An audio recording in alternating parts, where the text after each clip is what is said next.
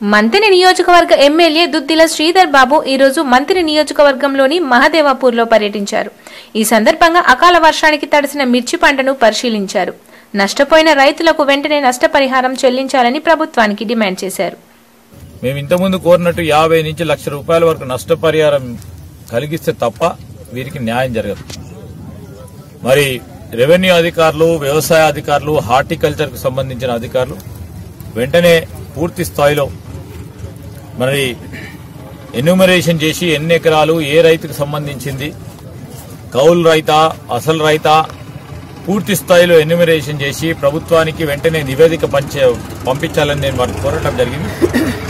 మరి కలెక్టర్ గారు వెంటనే స్పందించాలి. వెంటనే అన్ని కార్యక్రమాలు చేసి మరి ఒక కోఆర్డినేషన్ మీటింగ్ పెట్టి వెంటనే ఎన్యూమరేషన్ చేసి ప్రభుత్వానికి నివేదిక పంపించి ప్రభుత్వం సానుకూలంగా స్పందించాలని మేము ఆశిస్తా ఉన్నాం. ముఖ్యమంత్రి గారు తప్పకుండా రైతుల పక్షాన్ని నిలబడి మరి ఈరోజు మరి ప్రత్యేకించి మిర్చి పంటకు సంబంధించిన ఈ రైతాంగ సాధనలను ఆదుకోవాలని మేము డిమాండ్ చేస్తాం